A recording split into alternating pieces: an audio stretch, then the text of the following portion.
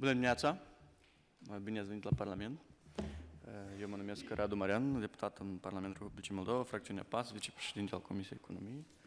Avem aici alături și pe domnul Sergi Lazarencu, colegul meu deputat în Parlament. O să se mai alătură colegi din alte comisii, dar astăzi noi avem, sperăm să avem o discuție publică referitor la politica fiscală și bugetul de stat. În principiu, clar că procesul de consultare clasic are loc la guvern. Cunosc că politica fiscală bună a fost, sau conținutul acestea, prima iterație acestea a fost cunoscută în mediul de afaceri în iulie-august. Oricum, chiar și așa, noi nu am reușit să respectăm în tocmai calendarul și pentru început vreau să cerem scuze pentru din numele guvernării că nu am reușit să respectăm în tocmai calendarul, dar în contextul crizelor multiple care s-au bătut din afară asupra țării noastre, presiunile asupra funcționariatului a fost, a fost enorme. Uh, prin această discuție publică care noi avem astăzi, uh, mai degrabă vrem să vedem între lecturi uh, care ar fi cele mai critice aspecte care încă nu au fost ajustate după părerea dumneavoastră și care credeți că trebuie să luăm în considerare atunci când uh, adoptăm varianta finală a politicii fiscale și a bugetului. Noi, în această perioadă de adoptare a acestor două documente, între votare în primă lectură și a doua, nu am avut, Comisia nu a organizat discuții aparte cu cineva, pentru că e complicat. Noi tot ce vrem să avem tratament uh, cumva cât mai egal, pentru că toți membrii societății și business-ul și orice industrie, și telecom, și agricultură, și producție, și IT, și sindicate, toți sunt importanți pentru noi, dar noi suntem foarte deschiși să avem discuții private, bilaterale. În, deja, după ce adoptăm, noi suntem deschiși să ne întâlnim aparte cu oricine ar dori o, o discuție și probabil colegii care, mulți care sunt aici în sală ar putea să confirme că noi suntem deschiși și că putem să avem aceste discuții um, în afara acestei perioade foarte încărcate care înseamnă adoptarea între prima și a doua lectură. Um, noi avem aproximativ două ore la dispoziție. Mm, rugămintea este să ne expunem cât mai succint pe cele mai critice aspecte ca să reușească toți sau cât mai mulți din cei care sunt astăzi prezenți să se expună. Noi să notăm anumite aspecte, sunt și colegii consultante la comisie. Uh, da, mersi tare mult și uh, haideți să, să dăm startul discuțiilor. Uh, noi o să moderăm, să butonul și eu să... Mersi, mersi mult, Sergiu. Da. Stimate domnule Radu Marian, domnule Sergiu Lăzărencu, stimați colegi, bună dimineața! Într-adevăr, vă mulțumim foarte mult pentru toată deschiderea acordată pe parcursul procesului de consultări. Ne-am întâlnit, am discutat. Uh, unele propuneri, într-adevăr, au fost luate în considerație și vă mulțumim foarte mult pentru intenția dumneavoastră de a susține business-ul care a fost semnalată, reiterată ieri și în ședința Parlamentului. Ceea ce am vrut să semnalez uh, foarte succint ca să reușească și alți colegi să se exprime, ține în primul rând de acele propuneri care, din păcate, nu au fost considerate și care pe noi ne, ne afectează. Uh, și mă refer nemijlocit la uh, poziția ce ține de recalificarea tranzacțiilor, deci uh, este un moment pe care vă rugăm foarte mult să-l să țineți cont de el. Este vorba de dreptul acordat fiscului, serviciului fiscal de a recalifica tranzacția. Um, iarăși, în condițiile actuale și în lumina unor precedente deja care au avut loc, um, um, reiterăm că există și vor fi riscuri de um, abuzuri inclusiv uh, uh, în cazul în care compania va trebui să își justifice anumite uh, poziții și nu fiscul, de exemplu, la momentul la care ei au încălcat sau nu au înțeles anumite proceduri. Deci considerăm această prevedere neîndreptățită, mai mult ca atât soluția individualizată um, se anulează. Deci, practic, considerăm asta ca o constrângere și vă rugăm foarte mult să să luați în considerație rugămintea noastră. Dacă vrei, Nicu, să, să completez. Mersi. Da, bună ziua, dacă îmi permiteți. Uh, apreciem foarte mult uh, deschiderea de discuții. Important, uh, rezultatul discuțiilor să vină la bunătățirea legii, cadrului legal, și să avem o aplicabilitate cât mai clară și pentru mediul de business, că asta ne face să achităm impozitele corect și de plin. Uh, și să nu existe abuzuri și din partea instituțiilor de stat. O să mă refer tot la subiectul de recalificare. Uh, în primul rând, uh, nu s-a ținut cont că prin această nouă normă propusă în politica fiscală, practic Serviciul Fiscal de Stat va avea două instrumente disponibile. Unul, uh, unul din instrumente noi îl avem în articolul 134 ține de dreptul Serviciului Fiscal de Stat de a anula tranzacția prin instanță de judecată. Din păcate, nu am putut să identificăm anumite date, câte cazuri au fost pe platforma Serviciului Fiscal în instanță de judecată pentru a anula anumite tranzacții. Ca un fost fiscalist pot să vă spun că, din practică, nu am întâlnit asemenea cazuri. Pe de altă parte, un dreptul de recalificare sau anulare a tranzacției oferit Serviciului Fiscal de Stat va fi un instrument extrem de periculos și imprevizibil pentru mediul de business. Ceea ce noi ne dorim, ne dorim să avem o previzibilitate. Faptul că se amână, se face un postpon până în 2024 la aplicarea acestei norme, este salutabil, dar haideți să nu venim să includem ceva în codul fiscal, în legislația fiscală, dacă încă nu avem certitudinea cum urmează să aplicăm această normă. Poate ar fi uh, corect să organizăm niște discuții extinse, inclusiv cu cel care va aplica acest instrument, cu Serviciul Fiscal de Stat, cu niște politici ministeriale la nivelul autorității fiscale, care să, defini, uh, să definitivăm care vor fi metodologia aplicării acestei norme. Asta nu vorbim de faptul că suntem totalmente împotriva acestei norme, dar vrem să avem o certitudine.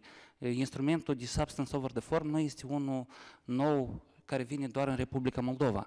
Dar haideți să vedem în ce situație aplicăm, în raport cu cine, există, chiar dacă s-au introdus câteva norme generale în articolul 189 în acest proiect de lege, el este unul foarte, foarte vag. Rugămintea este, dacă putem să excludem la moment această normă din proiectul de lege, ca ulterior să organizăm discuții suplimentare, astfel încât să facem într-adevăr un, o normă lucrativă și Da, mersi.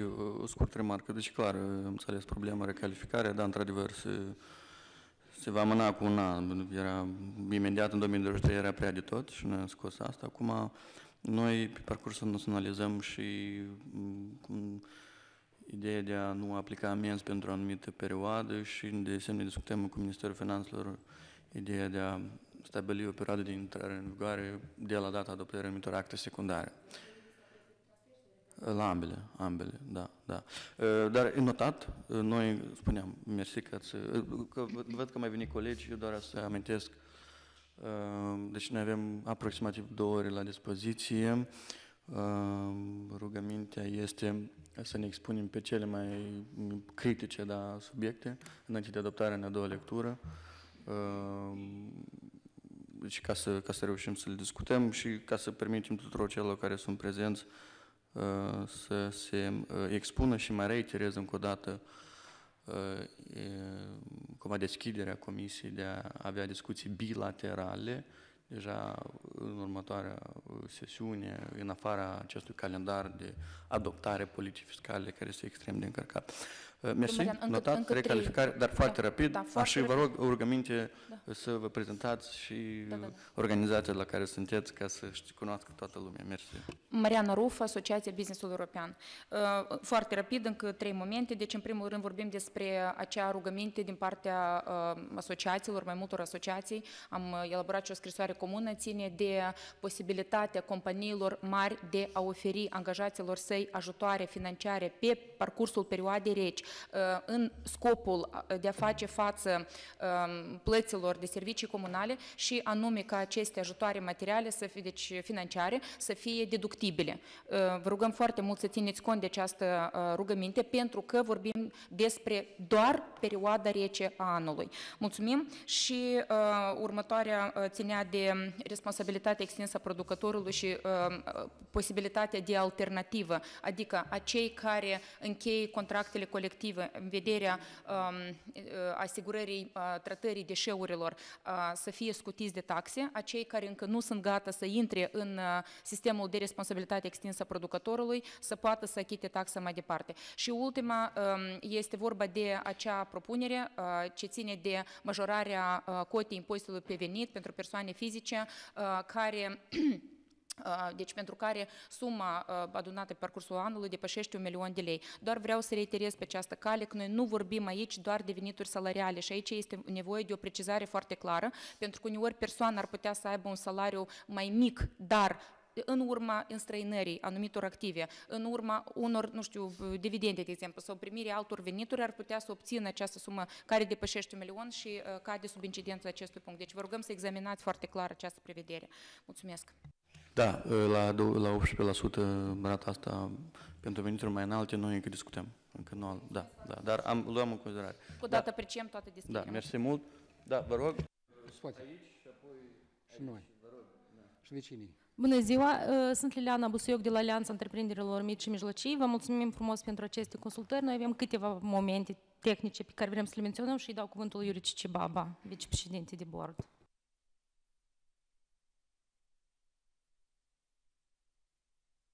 Deci noi salutăm uh, modificarea a- aplicării TVA pentru importul de servicii. Totodată, dacă noi vorbim de dezvoltarea comerțului electronic, au rămas două chestii nerezolvate și care noi sperăm că o să fie rezolvate. Proiectul noi putem să vă transmitem adițional.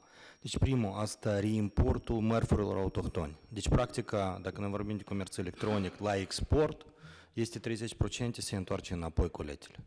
Acum, actual, este procedura care uh, înseamnă că fi- pentru fiecare colet întors, agent economic trebuie să meargă la serviciu fiscal și să primească un certificat prin care se confirmă fapt că nu a fost rambursat TVA. Deci asta e timp pierdut. Și pentru serviciu fiscal, reișind că întreprinderi mici și mijlocii fac rambursarea TVA nu mai des decât o dată în semestru ori anual. Dar dacă noi vorbim de dezvoltarea domeniului, aceste colete o să fie întoarse fiecare zi. Al doilea, creează problemă, serviciul vamal nu are declarația periodică pentru import și în cazul dat orice colet trebuie să fie declarat la vama la... și propunerea noastră să fie scutită automat uh, orice colet întors în cazul comerțului electronic. Propunerea noi putem să transmitem împreună și cu AMCEAM și cu Alianța Întreprinderilor Mici, prin care să fie scutit în perioada de 3 luni după trimitere. Că înseamnă că nu o să fie și aplicat serviciu fiscal. Al doilea, al doilea problemă care există cu rambursarea TVA pe- pentru servicii electronice vândute electronic. Uh, În cazul, a, a, actualmente este situația următoare. Căci eu să am ram, dreptul la rambursarea TVA dacă eu vând pe site-ul meu un soft electronic care a fost achitat cu cardul, eu trebuie permanent să aduc un act de predare a primirii semnat olograful electronic de către agent economic ori persoana fizică care a cumpărat acest soft din străinătate. Deci asta creează probleme. Deci, haideți cu alte cuvinte. Presupuneți că Netflix a fost deschis în Republica Moldova. În cazul dat, pentru fiecare achitare lunară care este comasat și el să aibă după această drept la, la deducere, la rambursarea TVA, în cazul dat el trebuie să, de la un milion de uh, cumpărători să cere, hai, trimite mie un act de predare prestare. Deci, totodată, confirmarea faptului că serviciul a fost utilizat este pur și simplu achitarea prin sistemul internațional, Visa, Master, PayPal. Căci uh, cred că utilizați uh, sistemele de achitare și știți, prin chargeback voi permanent puteți deodată să cereți bani înapoi și să confirmați că eu n-am primit serviciu. Deci cumva această problemă este rezolvată la nivel financiar, în cazul dat care e problema, noi să scoatem această cerință. Uh, Deja o să ridic și încă un uh, domeniu care noi salutăm această scutire, da? deci uh, amânarea uh, achitării impozitului pe venit pentru întreprinderi mici și mijlocii. Uh, Totodată noi nu înțelegem aplicarea, nu, nu prezentarea acestei scutiri pentru companii care utilizează 4%.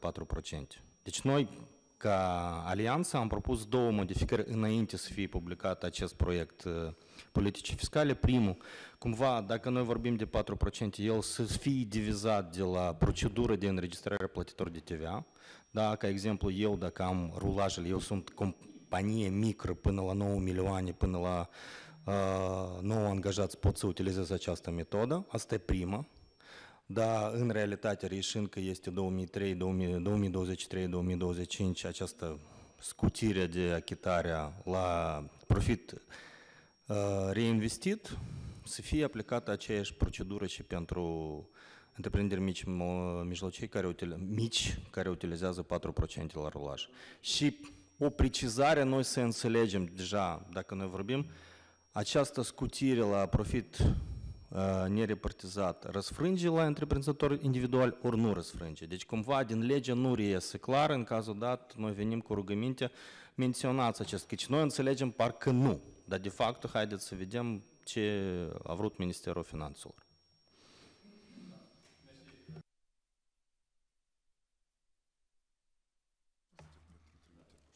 Mulțumesc mult. Eu astăzi toată săptămâna sunt doamna Vragaleva, dar de fapt de patru ani doamna Sirețeanu. Dar e ok. Veronica Sirețeanu, Camera Americană de Comerț. E ok. Eu zgaz la toate, toată săptămâna să toate ședințele cu doamna Vragaleva. Mulțumim mult pentru această discuție. Știu că avem foarte puțin timp. O să încerc să fiu foarte concis exact la subiectele pe care, în afară de cei ce au menționat colegii noștri, că ele într-adevăr sunt importante și noi ne subscriem la ceea ce au spus. Primul moment, un pic o să fug de codul fiscal, o să revin după asta înapoi, vreau să, dacă tot am vorbit despre momentul de punere în aplicare a unor concepte mai uh, complicate un pic mai devreme, codul VAMAL. Noi am pus perioada de aplicare 1 iulie, noi am pus regulamentele uh, 1 aprilie. Um, din înțelegerea noastră, asta este foarte ambițios, 1 iulie. 1 aprilie este foarte ambițios, 1 iulie și mai ambițios, că ele o să fie pus în aplicare. În primul rând, deoarece atunci când se aprobă, chiar dacă în 1 aprilie se presupune că se vor aproba acele regulamente care vor pune în aplicare noul cod VAMAL, ajustarea tuturor procedurilor pe intern, atât pentru serviciu vamal, cât și pentru contribuabil, o să dureze cu mult mai mult decât trei luni. De aceea noi ne temem să nu ne pomenim, dar um, asta nu este ca în cazul um, prețului de transfer, tu poți să amâni în sensul în care să desfășori un pic mai târziu careva acțiuni. Serviciile în vamă se întâmplă instant, în fiecare zi și dacă de la 1 iulie nu o să fie gata serviciul vamal și contribuabili, pur și simplu leacă de colaps, inclusiv pe partea de venituri la buget. De aceea noi vă rugăm să uh, considerați uh, punerea în aplicare a noului codul VAMAL începând cu 1 ianuarie anul viitor. Puneți acel deadline 1 aprilie regulamentul, cu toate că eu cred că el o să fie depășit 24. Da, eu cred că e, e, e clar 24. Puteți să lăsați acel uh, prag 1 aprilie, cu toate că eu cred că el o să fie depășit și voi o să vedeți asta și o să vă convingeți încă o dată că asta așa o să se întâmple. Tot aici au fost uh, modificate anumite norme legate de zonele economice libere. Ele sunt interesante ca și abordare, dar ele sunt un pic neclare celor care sunt rezidenți ai zonelor economice libere, deoarece acolo uh, s-au făcut mai multe departajări până la după, a intrat, până la data asta, după data asta. E, așa parcă e clar overall, dar nu este foarte explicit nici în notă, nici în uh, alte, să, zic, să zicem așa, discuții în general despre asta nu prea au avut loc și uh, comunitatea de afaceri este un pic îngrijorată. Poate un pic mai mult de clarificat pe dimensiunea asta. Noi suntem deschiși să avem o ședință și să vedem ce anume ar fi bine să fie clarificat aici. Vorbim despre susținerea populației, etichetele de masă, foarte frumos, 70 de lei mai bine ca 55, dar e mai rău decât 91 cât e acum minimum cât trebuie să crească. Noi sperăm să fie 100, noi sperăm să revenim la subiectul excluderii contribuțiilor sociale la etichetele de masă. Noi înțelegem poate nu în anul ăsta, dar vă rugăm să nu lăsăm foarte departe și totuși să revenim. Dar acum ceea ce vă rog este să considerați în loc de 70-100, este important, nu este așa cu un impact atât de mare și aduce foarte mult beneficiu colateral. Um, știu că se discuta foarte mult la cele deduceri care țin de revenirea uh, părinților în, uh, la locul de muncă, vorbim despre creșeri sau, sau anumite scutiri acord, sau um, beneficii acordate angajaților uh, care revin la locul pentru că aceștia să-și poată da copiii la creșă. Um, 2500 de lei, nu sunt așa de multă lume, eu știu că s-au făcut niște analize de impact de reglementare, noi chiar credem că este important să ținem cont de acest moment. Primele de asigurări medicale facultative, am discutat așa de mulți ani despre asta, este așa o chestie importantă, ajută atât de mult toate sectoarele, este un stimulant atât de important pentru a menține angajatul la locul de muncă, dar acum în perioada post-COVID este cea mai mare problemă să-ți menții angajații la locul de muncă. De aceea noi vă rugăm să considerați propunerea noastră prin care am rugat să se permită deducerea în cuantumul scuterii fixe, nimic mai mult plățile în bază de acțiuni, noi modalități care apar pe piață de stimulare a angajaților, inclusiv atât plățile în bază de acțiuni, ce cerem noi, reglementarea clară în codul fiscal a modului cum urmează ele a fi impozitate. Uh, Acum nu este clar că dacă, de exemplu, un angajator vrea să-și stimuleze angajații să rămână la locul de muncă prin acordarea unor acțiuni, el nu poate să o facă. De ce că, uh, m- sau poate să o facă cu riscul ca să încalce anumite prevederi legale. Deci ar fi bine să înțelegem impactul dat și să o facem corespunzător. Uh, vor- uh, Tot legat de asta, vorbim foarte mult despre uh, prima bancă care o să meargă și o să se listeze la o piață internațională, dar niște uh, clarități pe partea de felul în care se impozitează veniturile respectivelor persoane la uh, res- perso- tranzacționării pe bursele internaționale la moment încă nu au fost clarificate. Uh, După cum e codul fiscal, acum ele o să fie inte- uh, impozitate la greu și asta ar putea să sperie mulți din investitori care ar vrea să intre pe acest IPO, despre care, IPO, despre care noi vorbim atât de mult. Mai am câteva momente, vă spun foarte rapid. Um, Vorbim despre uh, faptul că noi vrem să avem abordare egală față de tot businessul și atunci uh, achita- abordarea egală uh, pornește și de la felul în care sunt tratați cei care activează în aceeași piață, prestatorii serviciilor de plată, bancari și non-bancari. Noi am venit cu o serie de propuneri prin care nu cerem nimic mai mult decât să se armonizeze pentru toată piața um, aceeași abordare. Uh, ele sunt în propunerile pe care noi le-am înaintat, ele sunt formulate deja doar urmează a fi preluate și atât. Ele nu aduc niciun impact bugetar extrem de mare, chiar nu aduc un impact bugetar, dar ele dau o echitate fiscală pe piața respectivă. A, Provizioanele în asigurări, am vorbit foarte mult, este important, e sector financiar, vorbim despre asigurările care au fost puternic influențate pe ultima perioadă, trebuie de asemenea să se regăsească în uh, ceea ce urmează să fie. A, Am vorbit și despre a, sursele de unde o să finanțați a, această politică fiscală, calendarul pe accize, care nu a fost respectat în acest an și au fost mai accelerat. Noi înțelegem a, că intenția este oricum de a merge pe o accelerare, ceea ce vă rugăm noi este ca ea poate să nu fie neapărat atât de abruptă cum se propune în proiectul Guvernului 1, 2, să fie pus în aplicare de la 1 iulie, pentru ca să vedem, iată, în prima jumătate a anului, cum se va răsfrânge a, această majorare asupra pieței, să nu ne trezim cu venituri mai puține decât de fapt a, am avea nevoie. Ultima la care mă refer, vă mulțumim foarte mult a, când zic asta, vă zic ca și guvernare, că ați ținut cont de propunere legată de uh, serviciile poștale și că ele, cele internaționale, trebuie să fie scutite. Uh, noi am văzut că s-a păstrat mai mult sau mai puțin forma care era, plus au inclus serviciile internaționale uh, poștale. Um, noi spuneam că poate ar fi corect uh, de respectat exact cum este directiva și uh, a include și operatorul uh, universal, uh, pe lângă serviciile internaționale, că cumva uh, stimulează inclusiv uh, agentul economic național care face acestea. Mulțumesc foarte mult, mă opresc aici. Da, da, notat, mersi mult. Eh, Referitor la întreprinderi individuale, eh, am clarificat acum că nu se va aplica la întreprinderi individuale. Colegii la Minister o să clarifice acest lucru în aviz. Eu am, da, doamna Groză, apoi domnul președinte și apoi dumneavoastră acolo. Vă rog în spate, cine dorește să... Poftim?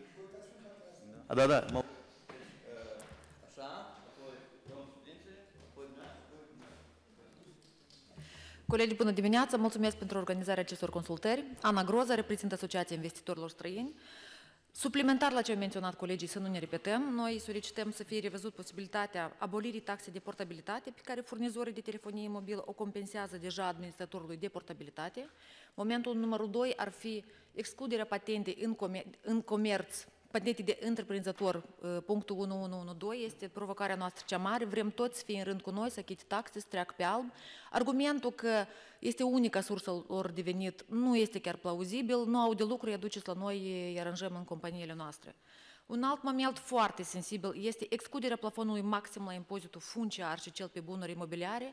Avem agenți economici care activează și prestează servicii, uh, realizează bunuri în, din 900 de apeleuri în peste 700. Este foarte dificil să dedici o persoană să caute pe site-urile apeleurilor această taxă. Acum cum este? Am achitat taxa maximă, ne-am luat de grijă. Acum noi trebuie să dedicăm o persoană separată care să intre pe fiecare site să, să verifice aceste taxe.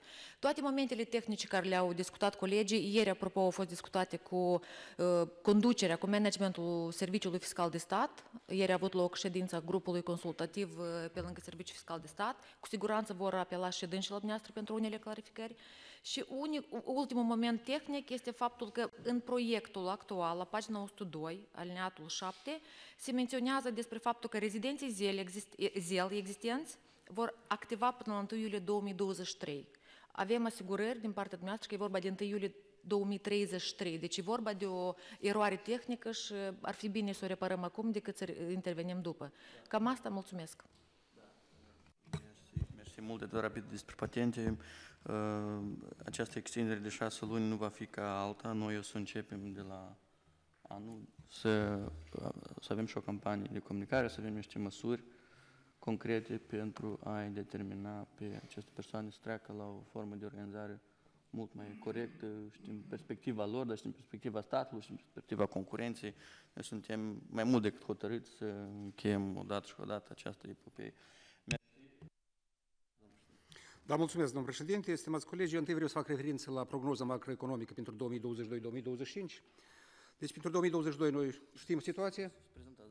Da, Sergiu Sainciuc, vicepreședintele Confederației Naționale a Sindicatelor. Deci mai întâi vreau să fac uh, referință la prognoza indicatorilor macroeconomici pentru 2022-2025.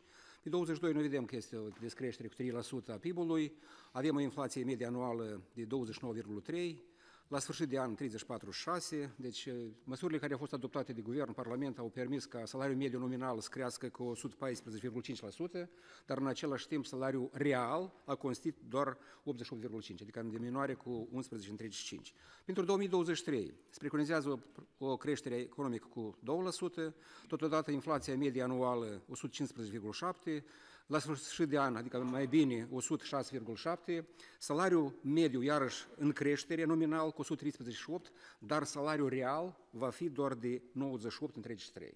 Adică, practic, măsurile care vor fi adoptate, inclusiv salariul minim care a fost adoptat de 4.000 de lei, măsurile în sectorul bugetar, Uh, deci majorarea salariilor, acel supliment nemijlocit, tot una nu va asigura o creștere reală a salariilor. În acest context, domnule președinte, deci în anii precedenți se uh, indexa scutirea personală. Deci noi propunem totuși anul acesta scutirile personale care sunt prevăzute de legislație să fie indexate la un anumit procent, fiindcă asta este o formă indirectă de a menține veniturile lucrătorilor. Și vă rog foarte mult să luați în considerație lucrul acesta pe toate capitolul de cei ce sunt discutările personale. E, și, paralel, noi n-am văzut o mare eficiență de la faptul că a fost e, anulată scutirea pentru soț-soții care nu muncește. Deci este tot un aspect. Încă o propunere a noastră constă în faptul că de mulți ani noi o ridicăm, este vorba despre uh, includerea în categoria surselor devenite neimpozabile a indemnizației de concediere, conform articolul 186 din Codul Muncii. Indemnizația de concediere este o, o sumă de compensare pentru salariat care și-a pierdut locul de muncă. Asta nu e salariul lui, dar în cazul de față suma aceasta este impozabilă. Chiar dacă va rămâne suma aceasta impozabil, noi am cerut. Noi suntem de acord ca suma respectivă să fie, uh, din să să facă și uh, reținerile la, de contribuție la bugetul de securitate socială de stat și atunci măcar persoana nu va, va, va câștiga ceva la pensie. Încă un aspect, noi susținem deci, mediul de afaceri privitor la excluderea taxei pentru uh, contribuțiile de asigurări sociale de stat de la tichetele de masă și iarăși cerem ca aceste tichete de masă să fie stabilite la sumă de 100 de lei. Și totodată, din proiect, domnul președinte, noi nu susținem excluderea cotei maxime și a cotei concrete pentru determinarea impozitului pentru bunurile imobiliare și impozitul funciar. Nu susținem. De ce nu susținem? Pentru că noi ne-am lovit de situația când... Nu. Adică noi nu susținem ceea ce este prevăzut, adică nu susținem. Pur și simplu, impozitul financiar, în cazul de față, dacă nu scoatem plafoanele, va fi o problemă foarte mare, cum noi ne-am lovit deja. Când a fost stabilit 10% pentru impozitul funciar și atunci cum? Falimentezi tot ce este acolo și mai aduci nicio venit ulterior. Deci asta sunt. Vă mulțumesc foarte mult. Dar pentru a menține veniturile, totuși, vă rog să vă gândiți, fiindcă măsurile care s-au adoptate, în opinia noastră, sunt bune, dar insuficiente pentru a menține și salariații în țară și cetățenii și de a asigura o protecție adecvată pentru ei. Mulțumesc. Da, mersi mult, domnul vicepreședinte. Într-adevăr, uh, avem o situație extrem de complicată uh, din cauza războiului și din cauza crizei energetice. Uh, veniturile reale, într-adevăr, să scadă, la fel cum se întâmplă și în toată Europa. Clar că acum noi alocăm o, o sumă enormă de bani pentru compensație, de exemplu, 5 miliarde de lei. O să fie mult mai clar pentru noi următoarele două luni de cum sunt absorbiți acești bani. Deci dacă noi o să vedem că, de exemplu, sezonul este cald, să vedem dacă, dacă tarifele sau prețurile internaționale de gaze naturale o să se mențină sau cel puțin o să scadă, o să scadă sau cel puțin o să se mențină, atunci există premize să eliberăm anumite sume de bani uh, pentru a, uh, mă rog, a modifica sau rectifica anumite subiecte, inclusiv ce țin de salarizare. Deci, cu siguranță, pentru noi să fie mult mai clar în două luni perspectivele noastre macroeconomice, pentru că o să vedem clar cum o să fie absorbite aceste compensații, dar am notat și o să discutăm suplimentar.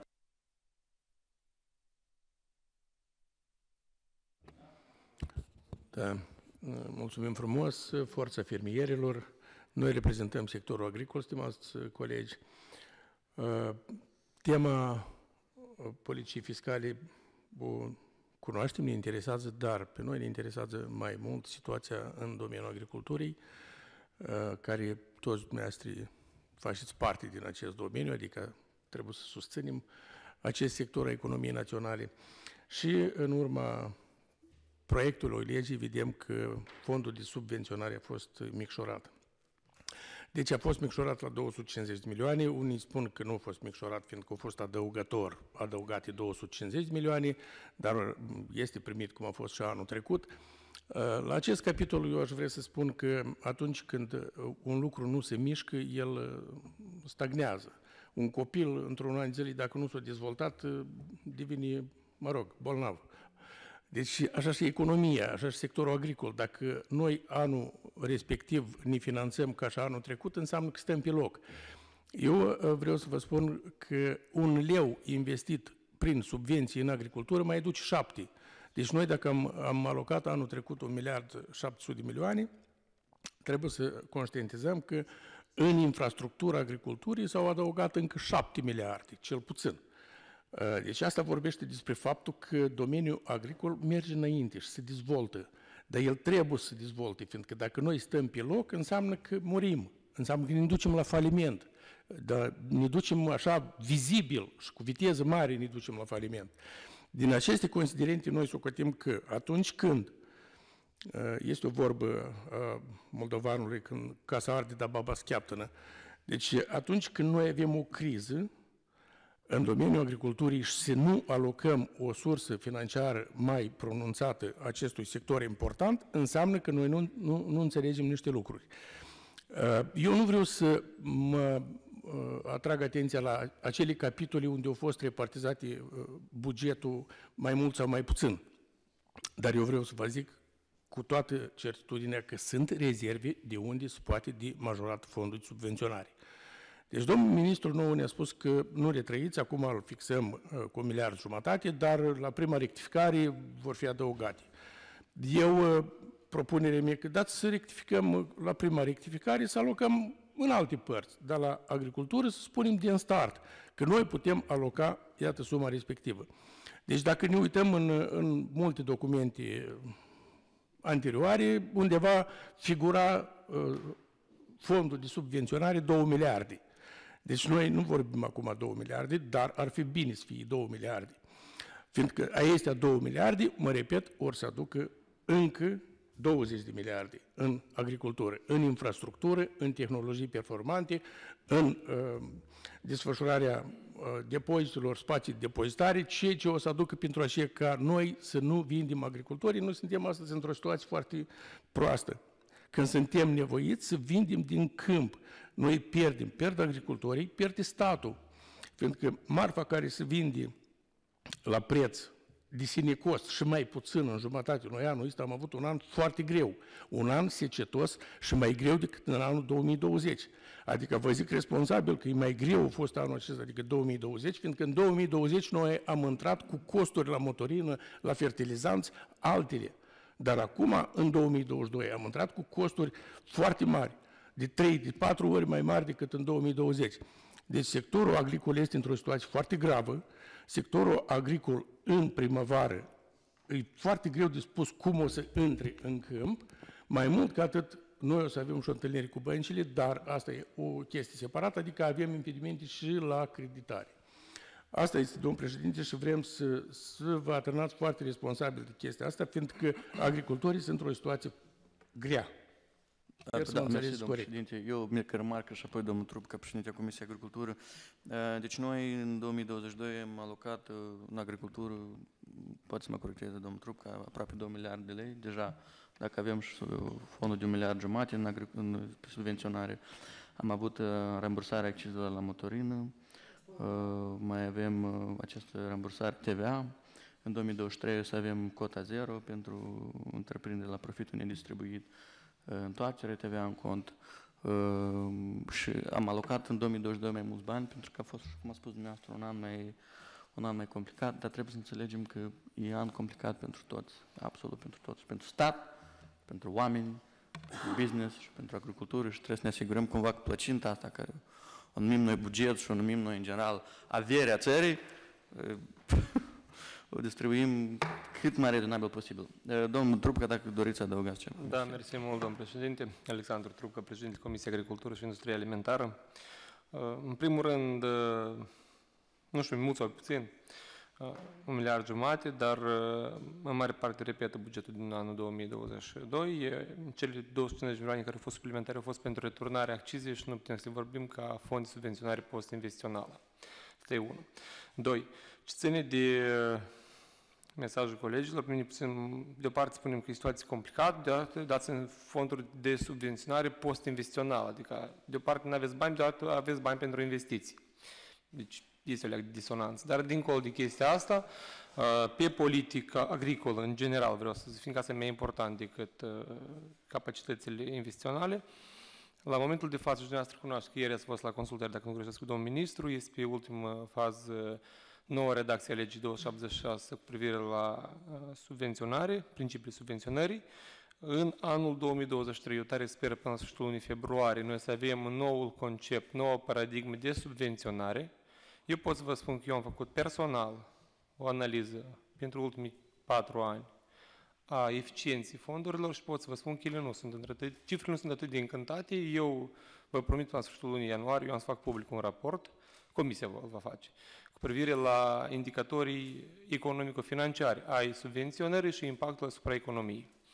Acum ce ține de noua paradigmă, noua paradigmă va schimba abordările, va fi o concentrare pe valoare adăugată, procesare, spații de stocare, ceea ce solicitați noastră, ceea ce e foarte corect și necesar, va fi o orientare spre uh, fiscalizare, transparentizare și digitalizare a agriculturii și uh, după această schimbare a paradigmei uh, vom vedea ce fonduri exprese avem nevoie pentru anul 2023 și la rectificare din luna iunie.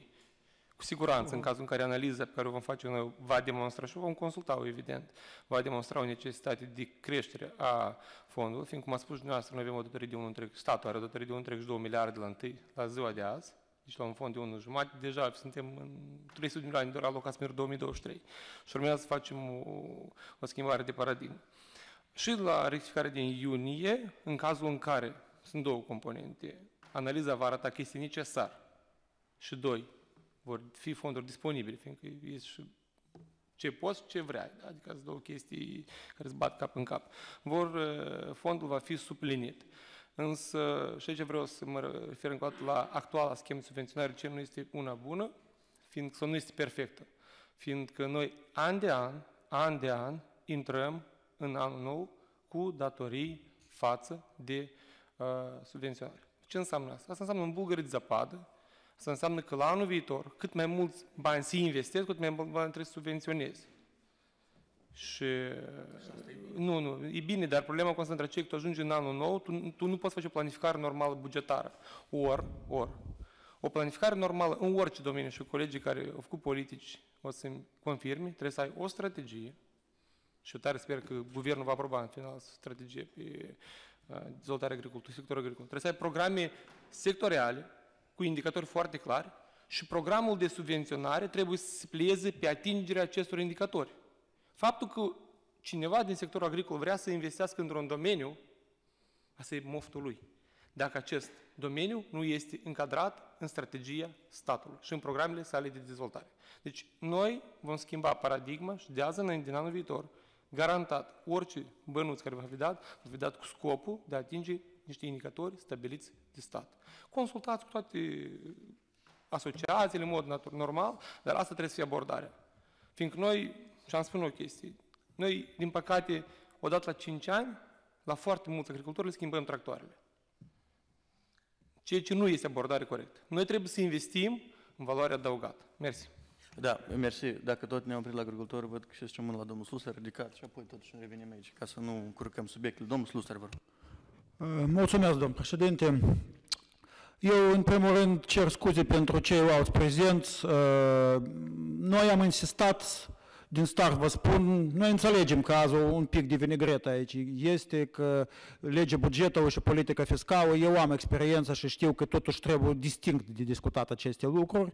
Noi am insistat la întrevedere separată, sub egida la celele două comisii, buget și, și agricultură, și cred că ramura agricolă merită să fie discuție, dat fiind faptul că am fost lipsiți de dreptul nostru de a discuta bugetul la nivel guvernamental. Noi cunoaștem cum cu viteza luminii a fost aprobat bugetul și iată, se dedică două ore pentru politică fiscală și legea bugetului tot împreună. De atâta ar fi bine totuși până mâine, duminică, luni, noi suntem gata să discutăm detaliat, minuțios și fără grabă acest subiect. Deoarece eu aici am văzut deja niște variante și manipulări, da, noi putem să facem multă filosofie. Ce înseamnă valoarea adăugată, care trebuie să fie domeniile investiționale, sunt agricultorii diferiți, sunt acei care n-a să aibă primăvară să iasă în câmp.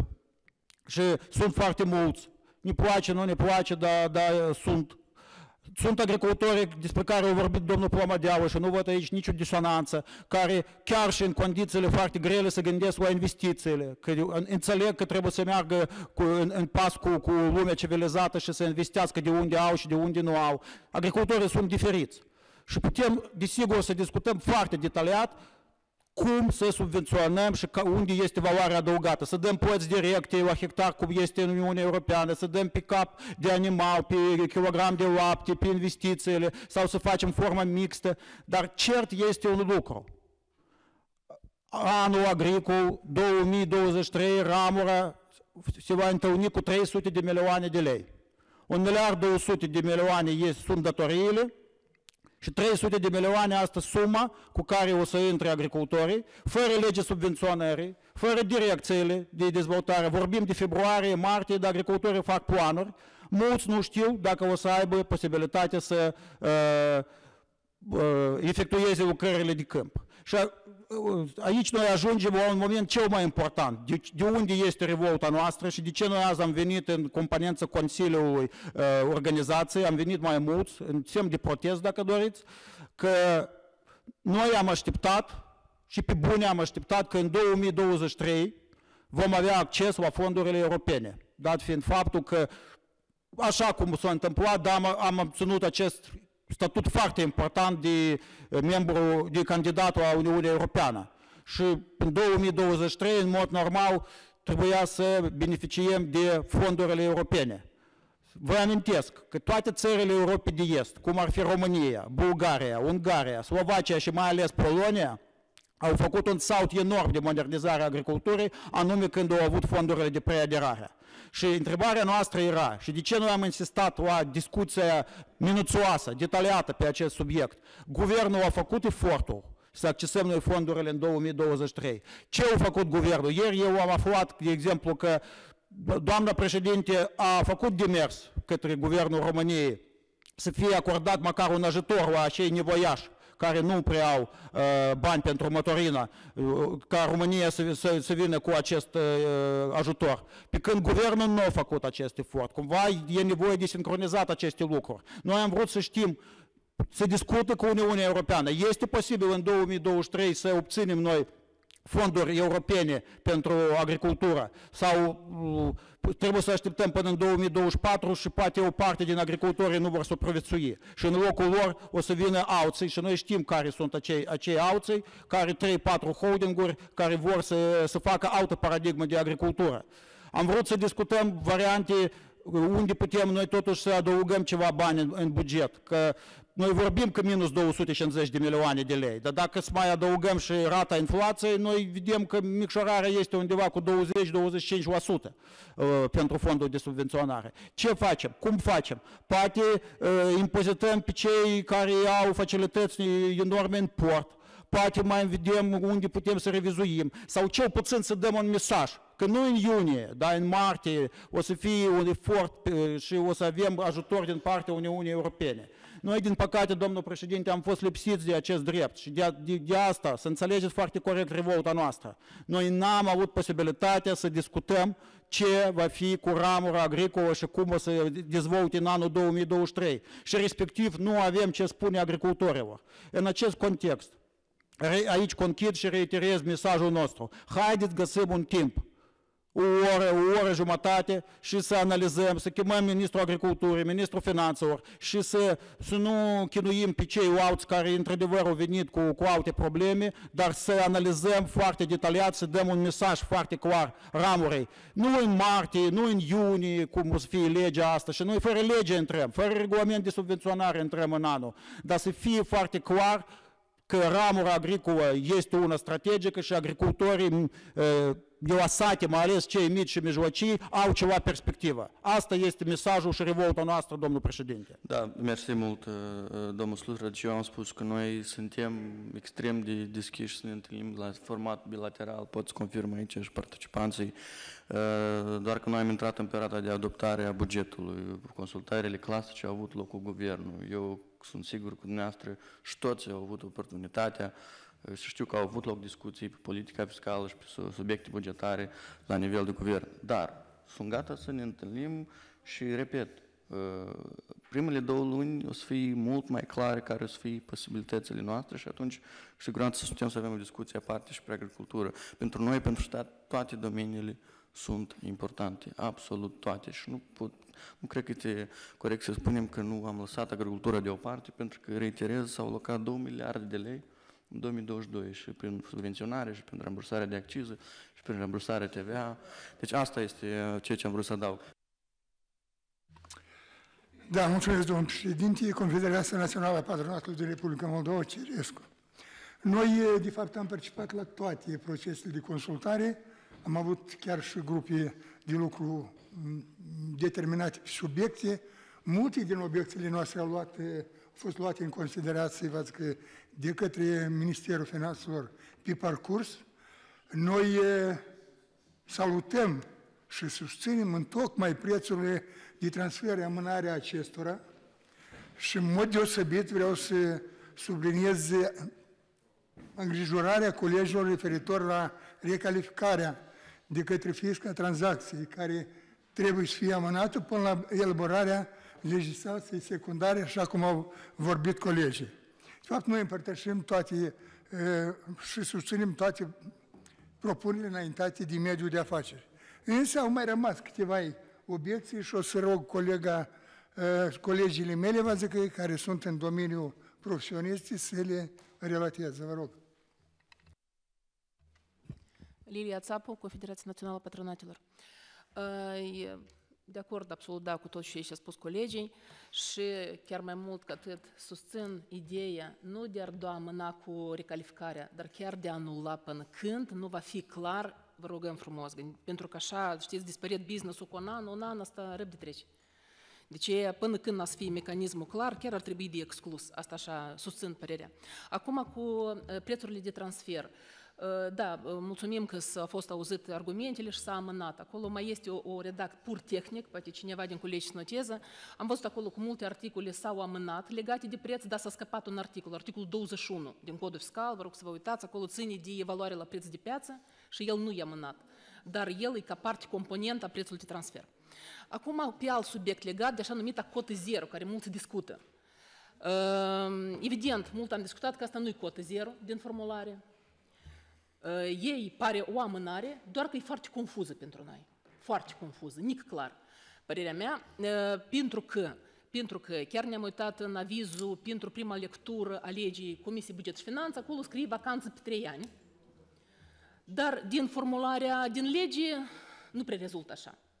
Mecanismul nu este clar. Noi chiar din partea patronatelor am dat o scrisoare la Comisia Buget și Finanțe în care spunem că, da, evident salutăm intenția de a ajuta business-ul cu, cu propunerea dată, doar că e cumva trebuie regândită, leacă, leacă reformulată. Deci, pentru că în redacția actuală se complică foarte tare mecanismul și el devine neclar. De ce? Pentru că se spune că scutirea se dă până când se va repartiza dividende. Dividende se repartizează din o sursă, impozitul se calculează din altă bază impozabilă. Și cumva mecanismul propus nu chiar să soluționeze toate situațiile. Simplu spun numai un caz. De exemplu, dacă compania va face careva tranzacții cu conturile de capital, formula care este propusă nu prea o să lucreze. De ce? Noi, în propunerea înaintată la Parlament, am spus ori și cum s-ar putea de soluționat întrebarea cu așa numită cotă zero sau cu amânarea impozit pe venit. Ori de aplicat mecanismul care a fost în 2008, când spuneam că smărim cota la dividende și dăm pace agentul economic cu impozit pe venit. Dividendele să fie, pur și simplu, impozitate la o cotă mai mare. E mecanism mai simplu. Sau sau o altă variantă, dăm scutire, uităm, adică aplicăm tot 6% la dividende și dăm scutire totală, nu mai depinde de fapt o să repartizeze, sau îi dăm un termen exact, iată cum rezultă din proiect 3 ani. În 3 ani, dacă repartizezi, recalculezi impozitul, după 3 ani să se încheie vacanța fiscală. Este o predictibilitate, chiar și pentru fisc și pentru agentul economic. Altfel, devine foarte neclar mecanismul. Nu știu fiscul cum să-l administreze, ca a fost fiscalist spun. Acum, un alt subiect legat de restituirea TVA, tot e o prevedere foarte importantă și foarte bine, foarte binevenită. Doar că, de ce să dă cu jumătate de mână? Da. Da, da, da, da, da, da, cu rambursarea TVA, da. De ce să faci cum cu jumătate de mână? De ce numai cu e-factura? Facturile cele ci care fiscale, e cele nu, nu sunt ok, adică de ce numai în cazul procurărilor prin, în cazul emiterii e-factura? Considerăm că chiar e o abordare, știți cum, nu chiar corectă. Cel puțin așa rezultă din proiect și din... Și cam aceasta, colega poate să zică de întrebare legată de trecerea în cont la... Da, apropo, la, dacă, Șeptelici Cristina, Confederația Națională a Patronatelor. În principiu cu restituirea TVA în cazul ăsta, deci într-adevăr absolut agenții economici folosesc facturi de strictă evidență, toate sunt centralizate, se ia diapazon de la serviciu fiscal, de aceea introducerea restituirii TVA doar la cele procurări care sunt achiziționate prin e-factură mi se pare nu chiar corectă abordarea. Și mai mult de atât, toți agenții economici declară aceste facturi lunar, ce au cumpărat, ce au livrat, de ce mecanismul de... Dacă, dacă cumva serviciul fiscal au vrut să-și administrarea să o faciliteze, atunci oricum mecanismele astea sunt și deci nu e o problemă să, să fie restituirea inclusiv și de la procurările achiziționate prin facturi care se, ia, se printează de sine stătător prin diapazon sau sunt procurate. Un alt aspect este de articolul 102 ce ține de trecerea în cont a taxei pe valoare adăugată pentru obiectele în construcții, fiindcă știm acum că este o abordare în sectorul construcțiilor că se fac blocuri atât cu spațiu locativ cât și nelocativ. Este o experiență acum destul de vastă și trecerea în cont prin aplicarea ATV-ului, prin aplicarea coeficientului calculat din devizul destinat locativ și nelocativ, e un pic un mecanism, unul la mână complicat, doi, el foarte des poate să modifice, fiindcă acum agenții economici îndeosebi caută diferite modalități de a-și optimiza atât cheltuielile cât și activitatea și de aceea propunerea noastră anterior și cumva am fost asigurați că va fi luată în considerație, dar din păcate vedem în varianta curentă că nu este, X fie și mecanismul de determinare a coeficientului, doar că din spațiu locativ-nelocativ, adică nu doar din deviz, dar și opțiunea din spațiu, adică ponderea spațiului locativ, nelocativ în totalul spațiului. Și atunci o să fie mai, putem, putem folosi și o metodă și alta, adică la latitudinea agentului economic, fiindcă din asta până la urmă serviciul fiscal nu, sau încasările la buget nu, nu vor fi micșorate. Vă mulțumesc. Da, vă mulțumesc tare mult. Deci, referitor la um, taxa zero, așa cum s-a vehiculat, deci, într-adevăr, de fapt, noi ceea ce spunem că se va taxa doar profitul care, pentru care se va distribui dividende, la 18%. Asta este conceptul, de fapt, nu neapărat, eu știu, taxa zero. Doar atunci. Uh, Sunt de acord că există confuzie, noi am notat și o să clarificăm.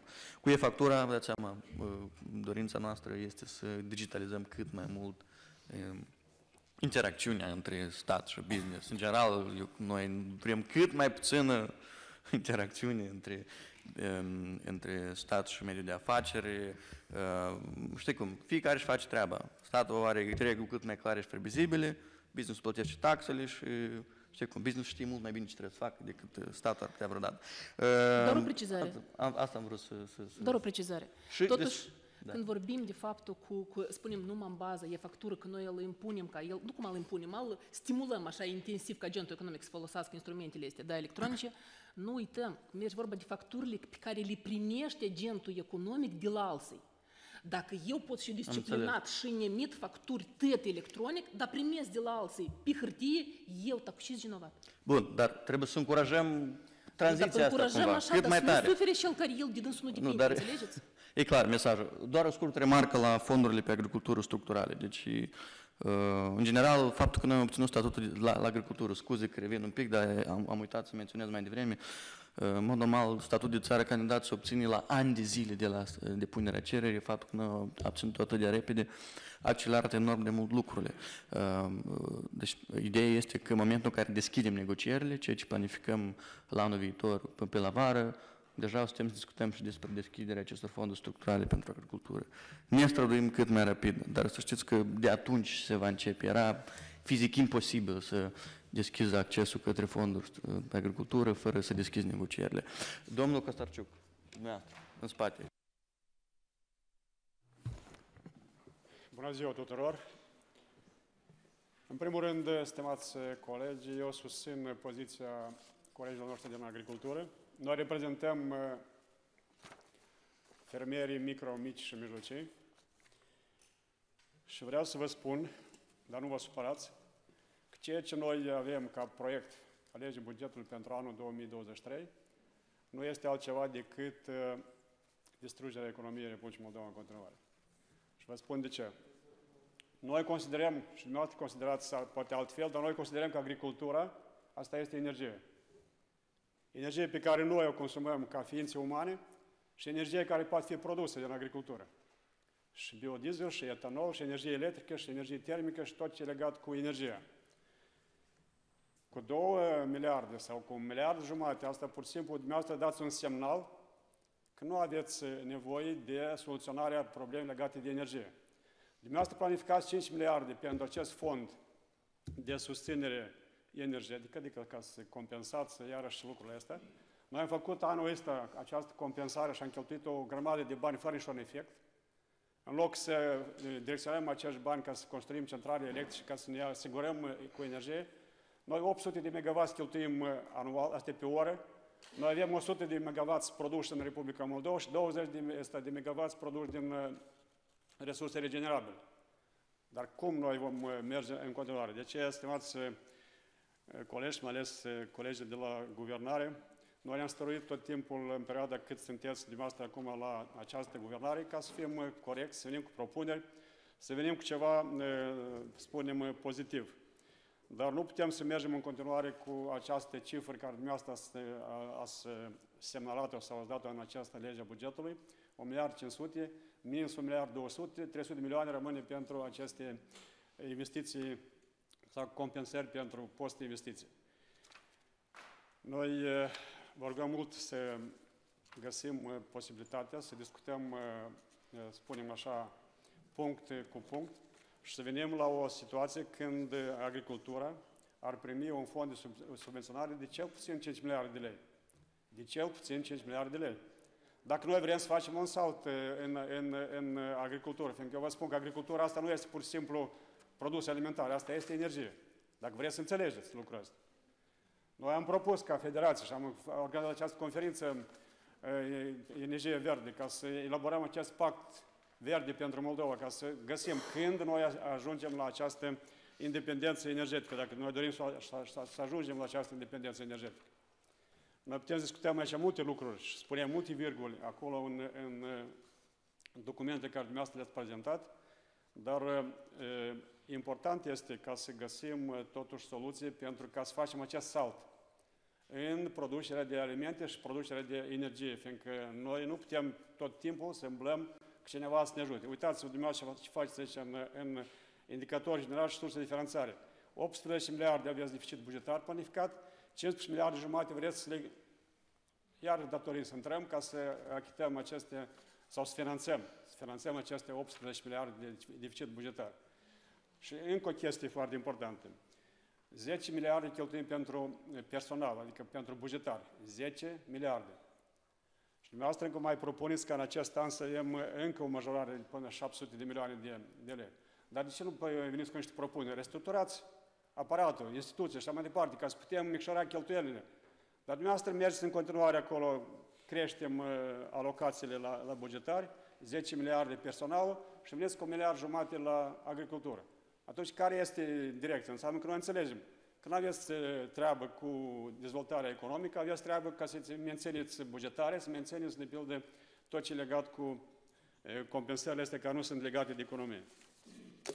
Eu nu fac uh, politică, stimat domnule președinte, stimați colegi, dar eu vă rog foarte mult ca noi să ne așezăm, să discutăm cât timp este necesar, dar să găsim soluții pentru ca să alocăm agriculturii mai multe resurse, să facem acel salt necesar, care este necesar guvernării și necesar acestei țări. Da. Acum un, o chestie foarte așa, știți, este o chestie bună cu articolul 101, cu restituirea TVA. Dar pe noi ne interesează cum veți achita acele 2 miliarde de lei care sunt în conturile agenților economice. Noi n-am găsit, de pildă, această soluție în, în proiectul prezentat și atunci când am vorbit cu domnul ministru, domnul Budeanski, el a spus că vom îngheța. Nu merge, nu este corect să înghețăm acești bani care sunt banii agenților economici, nu sunt banii e, statului. Statul de cum i-a folosit acești bani și n-a plătit nici un procent pentru acești bani. Eu vă mulțumesc da. și încep. Mersi mult, domnul Costarciuc, pentru opinie. Of, și să încep eu. Deci cu energie. Dumneavoastră, eu cred că înțelegeți că nu e realist să construim noi în, în câteva luni, într-un an, centrale electrice și nu știu de care, ca să ne asigurăm o securitate energetică. Criza energetică afectează to- absolut toate țările europene și absolut toate țările europene alocă o groază de bani ca să subvenționeze, să compenseze oamenii. În România, doar în România, că până acum 20 ceva de miliarde de euro, banii ăștia merg la cetățeni, Ehm, și cetățenii din ehm, aceste fonduri suplimentare pot să consume mai mult și banii ăștia oricum la un moment dat se întorc în economie. Asta este soluția pe termen scurt ca să ieșim din situația dată, din uh, șantaj energetic la care suntem supuși și la consecințele războiului. Sigur, noi între timp ne mișcăm pe partea de securitate energetică, Uh, am început deja procesul de proiectare și construire a centralei uh, termice. Am uh, creat condiții pentru ca în 2 ani să avem 30% pondere la regenerabile. Ieri, de exemplu, Energocom a aprobat procurări de achiziții pe intern de electricitate de 8 ori mai mari decât anul trecut. Deci noi ne mișcăm în pași mult mai rapizi decât au făcut-o alte guvernări pe partea de securitate energetică. Uh, ați mai menționat uh, de faptul că bugetul și politica fiscală nu susține creșterea economică. Eu vreau totuși să vă contrazic. Pentru prima dată noi începem să întoarcem TVA-ul la business-uri care niciodată nu s-a făcut, s-au acumulat datorii de 10 miliarde și abia noi acum o să începem să uh, pornim acest proces de restituire TVA-ului. Nu mai vorbim de această taxare profitului doar după ce se distribuie dividende. Este vorba de multe și multe miliarde de lei care se întorc înapoi la business. Și la agricultură, și la IT, și la telecomunicații, și la toate, toate domeniile. Anume, din aceste considerente am, luat, am decis să avem această decizie ca să stimulăm investițiile. Mă scuzați, dar bugetarii, dați seama, este vorba de un stat care trebuie să funcționeze. Ă, am dat la, dăm la business aceste fonduri și în același timp ajutăm și bugetarii să, ă, să funcționeze. Profesori, bugetarii sunt profesori, medici, polițiști, pe care toți se folosesc și agricultorii, și absolut toți. Nu înțeleg ce trebuie să dăm mai jos, să, să sub, nu știu cum să spun. să, să vorbim așa despre bugetar. Pentru că atunci când avem o problemă, tot la stat, uh, tot la poliție te duci, tot la medic, tot la profesor, tot la spitale. De ce să avem această atitudine? De deconsiderare totală a, a oricui altceva, cu excepție la domeniul nostru. Deci noi, ca și comisie, repet, pentru noi, absolut toți sunt importanți. Absolut toți. Inclusiv și bugetari, și profesorii, și medici care tot consumă și care tot se duc la magazine și cumpără produse agricole. Absolut. E foarte important acest lucru și pentru fiecare important să menținem cât de cât puterea de cumpărare. Și prin compensație din 5 miliardele, noi menținem această putere de cumpărare care se întoarce îndoit la business. Mersi mult. Vă rog. Da, domnul Ghenadi, Sindicatul Educației și Științei, vin în uh, susținerea ultimii dumneavoastră teze și uh, da, noi suntem suporterii agricultorilor, suporterii micului business, marilui business, uh, tuturor colegilor, pentru că de la noi, de fapt, se pornesc toate momentele, școala, educa- grădinița, educația, universitatea, doar că am găsit și noi o soluție și, apropo, aduc și eu mulțumiri, chiar dacă sindicatul rar mulțumește guvernării, dar în cazul dat chiar și deputatul Lazarencu, mulțumesc că ne-a ajutat să facem ieri o discuție sinceră cu ministrii Budeanscă, cu ministrul Topală, cu uh, liderii sindicali din universități, colegii, uh, dar vă rog un lucru, lucrul ăsta cu marginalizarea lor și uitarea de a pune în buget niște sume pentru autofinanțare, așa zis, universitar, școli profesionale, nu e bun, pentru că deja a patra greblă eram cât să călcăm, pentru că dacă e vorba de indemnizațiile pentru sport profesional, s-a uitat. 3.000 pentru perioada 10 anului nu s-a dat lor, adică care logica este, da, ei se autofinanțare, au contracte, eventual sau virtual, dar care contracte pot asigura un director de școală profesională să asigure cel puțin salariu, nu zic de sporuri. Adică la universități se mai referă, universitatea, ă, autonomia universitară, da, este vaca sacră, nu ne atingem de ea. Da, iată, autonomie economico-financiară a instituțiilor. Iată, aici trebuie să ne gândim. Ă, eu știu că chiar și în România, bugetari sunt bugetari. Dacă îmi dăm 4.000 de lei pentru rechizite pentru profesori din școală, e bine. Dacă în alături și de profesori de la școala personală și nu primești pentru că el e la autofinanțare, nu e bine. De aceea eu vă rog un lucru, înțelegem foarte mult situația în care ne-am pomenit, înțelegem că nu e posibil de a merge la valoarea de referință în 2023, dar nu înțelegem de ce. Că ar fi fost o pârghie foarte bună de a pune 100 de lei și acolo și a avea sporuri salariale mai substanțiale. Chiar dacă noi, da, suntem bugetari și s-ar să părea că consumăm bugetul. Doar că, repet încă o dată, că fără noi, oricum, situația nu poate merge deloc și învățământul este prioritate națională de câte o țin minte, declarat ce obțin. Prin urmare, hai să, să, să căutăm. Avem în 2023 o misiune foarte importantă de a modifica legea 270 și de mult timp și vă rugăm foarte mult. Uh, dar platformele este discuție și mai ales Politica bugetară fiscală este o partie foarte importantă care, cum ați spus, ne permite să uh, folosim rațional aceste resurse care le avem și să nu admitem discriminări. Dar în cazul cu școlile profesionale, era cât pe ce să producă o nouă discriminare și încă o dată, repet, mulțumesc că am găsit soluția potrivită, chiar dacă e prin comanda de stat, chiar dacă nu e expres în lege, dar noi am propus să fie totuși articolul 11 modificat dacă e posibil, că lumea e ca Toma necredinciosul. Da, declarații sunt, certitudinea e, de, e anunțată, doar că s-ar putea să fie surpriză că să nu ajungă bani în teritoriu. De aceea trebuie să fim atenți să monitorizăm. Și încă o rugăminte mare. Noi de mult vorbim de personalizarea uh, unor părți din prima de asigurare medicală. Acele 9% care le dăm fiecare în uh, ar fi bine omul să poată o parte din bani să folosească, adică pentru chestii. Da, există principiul solidarității care sindicatul îl salută și noi plătim pentru cei care au nevoie, cei sănătoși plătesc pentru cei care... Dar omul dacă are nevoie să treacă o testare sau și vrea o parte din bani, un procent, două, trei din nou, să le pui pe contul lui, de ce să nu permită un lucru ăsta? Trebuie să fie permisivă legea. Vă rugăm să atrageți atenție la acest aspect. Mulțumesc.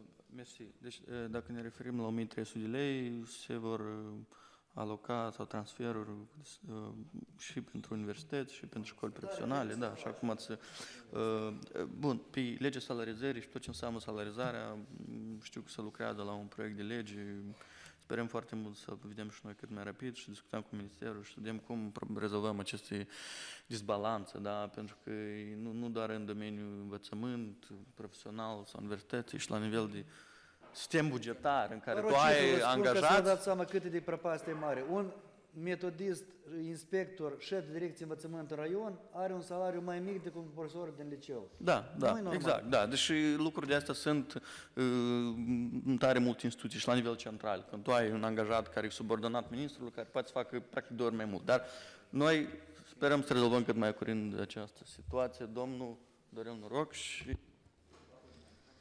Mersi mult, domn președinte, Dorel Noroc, Asociația Băncilor. Noi avem câteva subiecte pe care le-am discutat și cu Minfinul și vrem să le atragem atenția dumneavoastră.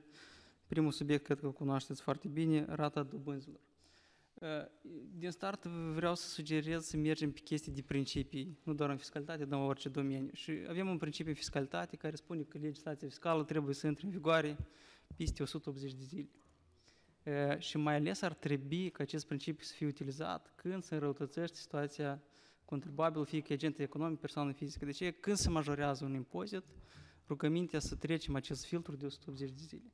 Noi în fiecare an, dacă o să cronometrați procesul politicii fiscale, noi batem record de la an la an, la timpul în care e, se consultă politica fiscală, deci e rugămintea ca rata dobânzii e, cel puțin să fie peste 180 de zile. Acum, legată de alte principii, e, noi am spus, avem impozitarea veniturilor investiționale, cum sunt dividendele, 6%, creștere de capital, 6%. Noi avem pe VMS-uri, avem diferite VMS-uri, VMS-uri care se emit și se cumpără la valoarea... e, o secundă, o secundă. VMS-urile se impozitează cu 12 și cu 6%. 12% se impozitează e, dobânzile care se primesc pe VMS-uri, dar dacă persoana cumpără VMS-uri la o valoare mai mică și se răscumpără la nominal, atunci se achită 6% și există explicațiile Ministerului Finanțelor.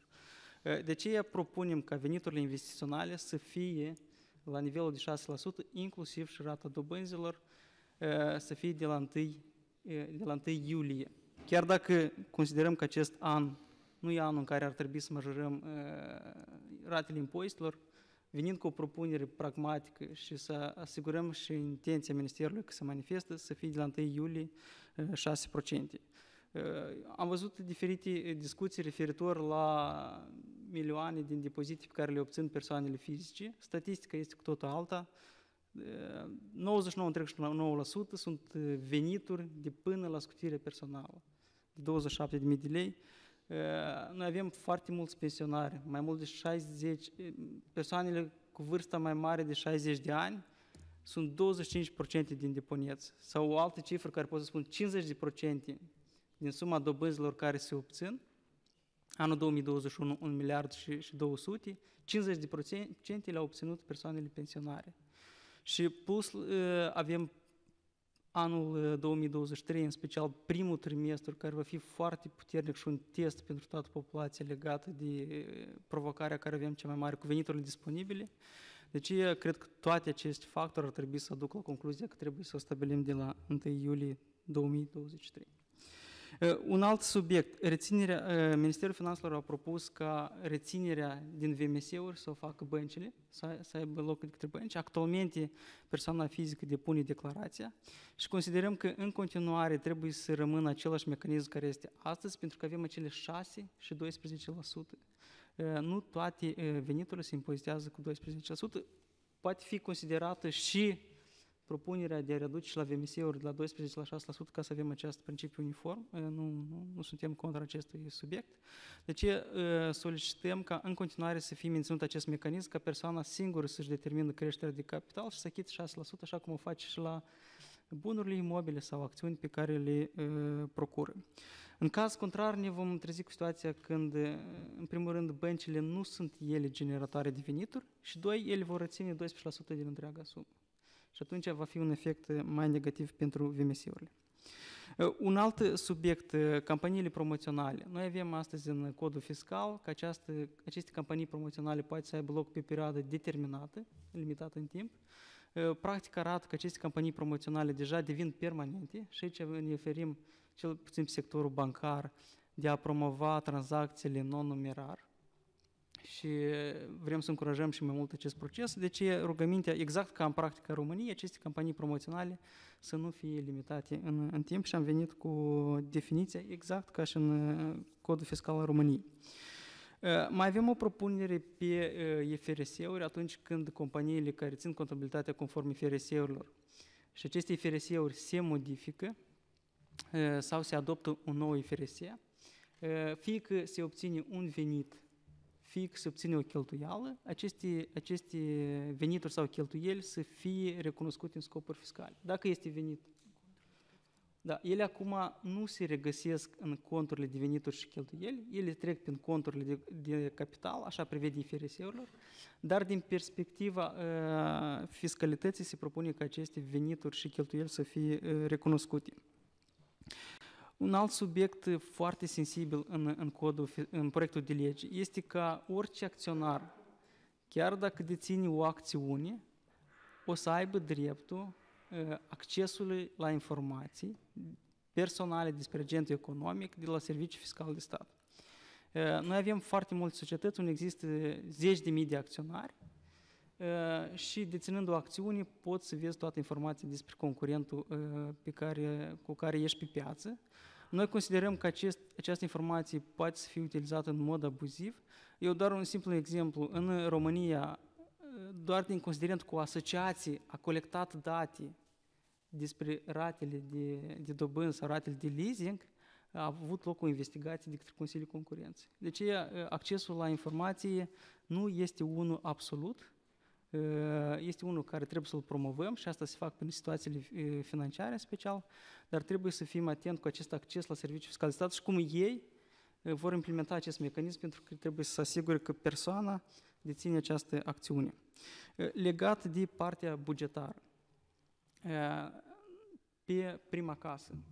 Noi, la 1 iulie, am avut o majorare a ratei dobânzii cu 4%, acea limitare pe care a venit guvernul și după mine a fost niște politici foarte bune. De la 1 ianuarie 2023, calculele noastre arată că rata va crește încă cu 2 puncte procentuale și noi nu avem o previzibilitate dacă guvernul în continuare va compensa după același mecanism care a fost în semestrul 2 2022, adică actualmente. Noi considerăm că ar fi nevoie încă un semestru să fie compensată această rată. Cumva ratele, inclusiv și ultima decizie a BNM-ului, ratele la sigur se vor, se vor coborâ în jos și cred că asta toată lumea se așteaptă.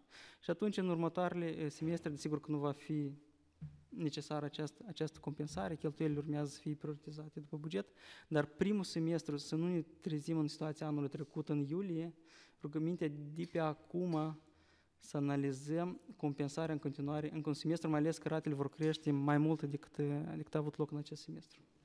Mersi mult, doar o mică clarificare cu mi-a spus că ratele ar putea crește cu încă două puncte procentuale. De ce? Da, la sigur, asta e sigur. De sigur ce băncile au așa previziune dacă știm că totuși presiunile inflaționiste scad deja și rata de bază este în tendință de scădere, care este explicația? Da, vă explic. Rata de creditare la prima casă se actualizează semestrial. semestrial. În, în primis, primul semestru anului următor se va lua indicatorul din luna noiembrie anul acesta iar indicatorul din luna noiembrie a crescut foarte puternic. Și e, se va ajunge la limitarea aceea de 6 puncte procentuale, adică va crește de la 4 încă cu 2 puncte procentuale. Am înțeles. Mic, o mică precizare. Deci, în realitate, se ia rata media depozitelor atrase. Deci asta e pur și simplu statistică. Cu cât mai mult se achită băncile pentru depozite, cu atât mai mult o să fie crescută rata. Deci pur și simplu piața dictează. Mersi.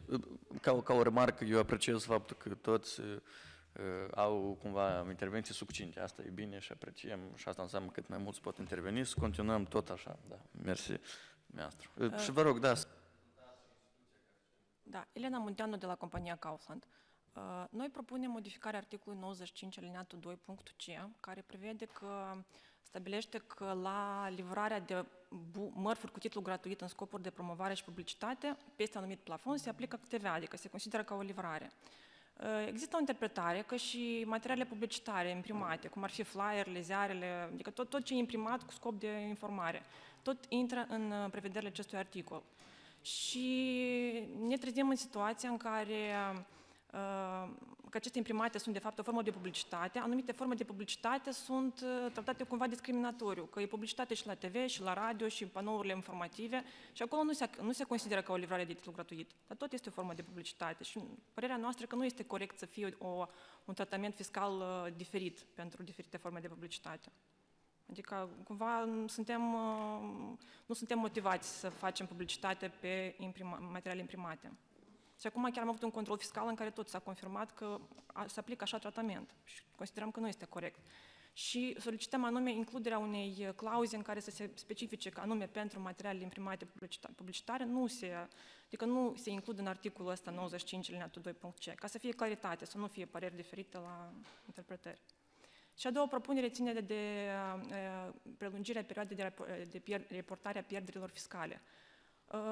Adică, luând în context situația dificilă din ultimii ani, multe companii nu au reușit, adică nu, nu, nu uh, sunt profitabile în termenul de 5 ani și asta ar fi o măsură de suport a acestor companii, ar uh, crește imaginea, atractivitatea investițională pentru alte companii și adică cumva ar fi o măsură de suport pentru companiile care nu reușesc să beneficieze de această prevedere.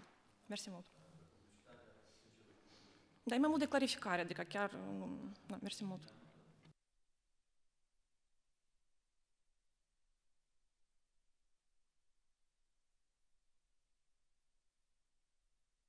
Dacă îmi permiteți, Nicolae Cretu, Safe Consulting House. Uh, adițional la cele expuse, uh, aș vrea, la moment, una din prioritățile guvernului este instituirea acelui mecanism de răspundere extinsă a producătorului, REPO. Uh, Legislația fiscală a venit anterior să încurajeze prin includere în articolul 20 la venituri neimpozabile anumite venituri obținute cu persoane fizice de la înstrăinarea sau colectarea deșeurilor de diferite forme, cât și scutire pe uh, platforma TVA în titlul 3. Uh, la moment vedem o excludere a normei din uh, articolul 103, deci ține, respectiv aceste deșeuri vor fi impozabile. Uh, totuși, uh, haideți să, dacă este posibil, să analizăm care este uh, dorința statului și dacă este REP o prioritate, probabil acei colectori de deșeuri, vorbim aici de toate tipurile de deșeuri, și cauciucuri, și carton, și deșeuri electronice, pentru că avem o normă generalistă când vorbim de acumulatoare, vorbim de metale, de alte tipuri de deșeuri, dacă este posibil să dăm o definiție și o extindere a acestei norme în articolul 20, astfel încât colectarea deșeurilor să nu fie interpretată de către Serviciul Fiscal de Stat scutită doar în raport cu anumite tipuri de deșeuri. Dacă putem să, este o redacție deja venită din partea IEBA cu privire la o redacție nouă la articolul 20Y. Mersi.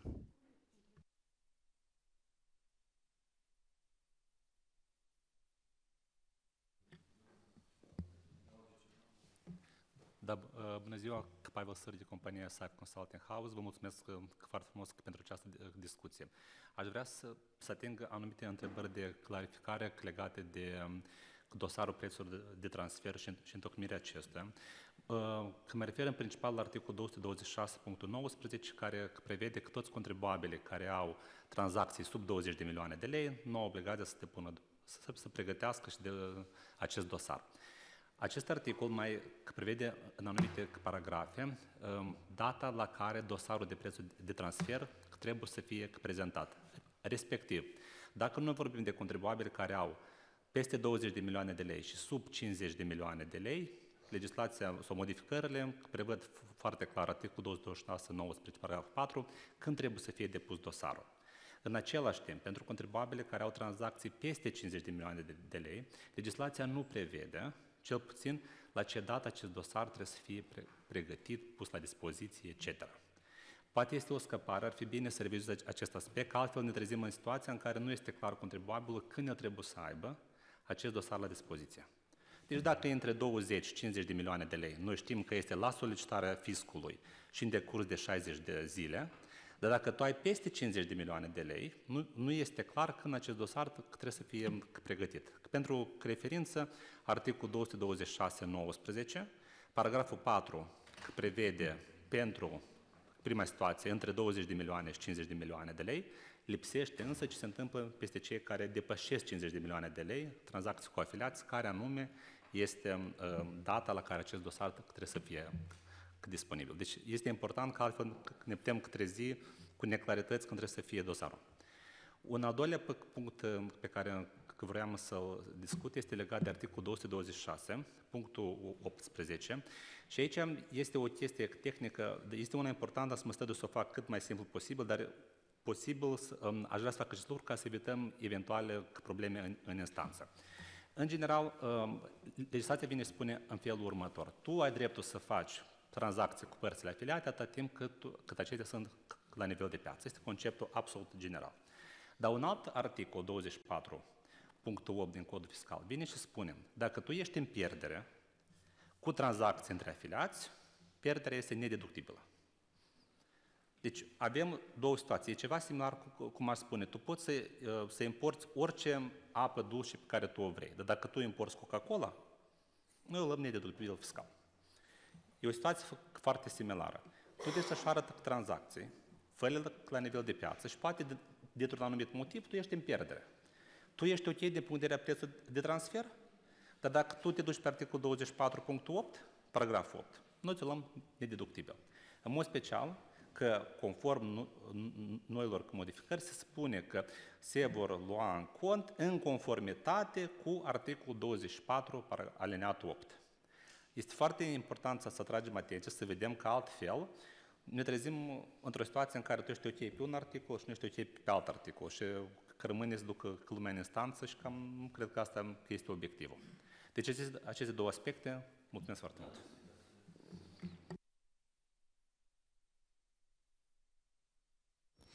Deci eu vreau să vorbesc de concurență neloială. Două aspecte de concurență neloială. Una, dacă noi vorbim de sector financiar, deci a, am ce am deja propus această modificare, legea contabilității să fie egalate serviciile financiare, documentarea serviciilor financiare din partea băncilor, OCN și prestatorii servicii de plată. Deci actualmente cumva este scăpat prestatorii servicii de plată și în cazul dat dacă băncile OCN nu trebuie să emite facturi fiscale pentru servicii financiare, servicii prestatorii de plată sunt obligate să utilizeze aceste documente. Deci nu, nu este cumva egalat și în cazul dat propunem să fie ajustată legislația și să fie excepție făcută și pentru prestatorii servicii de plată. Al doilea aspect, noi vorbim de conturile bancare. Deci toți era că costurile de procesare a plăților internaționale este majorate, totodată prestatorii servicii de plată iar sunt cumva uh, pus aparte și cumva ei egalate sunt la deschiderea conturilor în străinătate pentru prestarea serviciilor, ei sunt egalate cu agenți economici simple. Totodată costurile lor și eficiența lor depinde de dacă ei au o posibilitate de a gestiona fluxurile mijloacelor bănești pentru clienții lor și pentru plățile în străinătate. În cazul dat o să fie binevenită ajustarea și legii reglementare valutară privind posibilitatea deschiderea conturilor bancare și în bănci străine de către prestatori servicii de plată. Un alt aspect de concurență neloială, deci eu văd că camerele nu, nu sunt, dar încă sunt? Ok, nu să povestesc așa. Ca, camerele, acum nu, nu se filmează deja. Dar se înregistrează și e indirect. Indirect. Ok, nu, nu se povestesc deja. Menționez, nu. Dar suntem în consultare cu discuție. Ok, ok, o, o să povestesc reacția unui angajat la situația care el a fost decernat în compensație și a venit și spune, Iura, eu vreau să primesc salariul în plic. De ce? Că eu n-am primit compensație. Deci asta reacția, eu nu vreau să primesc salarii oficiale, din cauza că eu primesc salariu oficial, eu nu, sunt, eu nu am primit compensație. Deci, nu, eu, vă, eu vă, asta e în realitate concurența neloială care există pe piață. Deci glumă ca glumă, dar în realitate se întâmplă.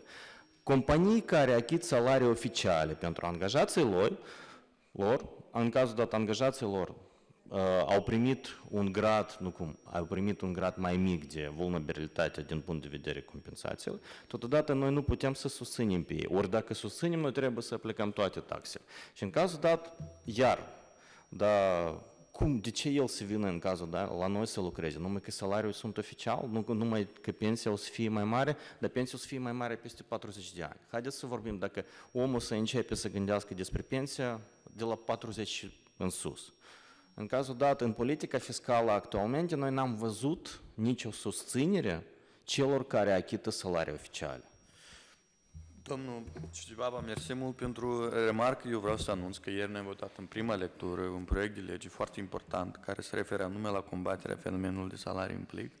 Deci se oferă uh, atribuții uh, mult mai puternice pentru Inspectoratul Muncii, controle inopinate, uh, de exemplu, uh, pe subiectul dat. Pentru că noi pierdem 15 miliarde de lei din cauza acestui fenomen și cel mai mult pierd businessul legal. Deci noi am votat această, acest proiect, noi urmează să-l votăm până la final de an și de la 1 ianuarie uh, o să fim mult mai hotărâți în lupta cu acest fenomen. Uh, și eu știu că și asociațiile de business susțin acest proiect pentru că este doar în interesul uh, companiilor care, care activează onest și în interesul concurenței loiale. Deci noi avem un program separat, uh, trecem pe alb, care include și această lege care am votat-o ieri și o să adoptăm niște stimulente care țin de, de exemplu, dacă majorezi salariul uh, cu anumit procentaj, de exemplu 50%, pentru o anumită perioadă să fii scutit de plata contribuțiilor sociale, de exemplu, și medicale. Deci noi pregătim acest subiect.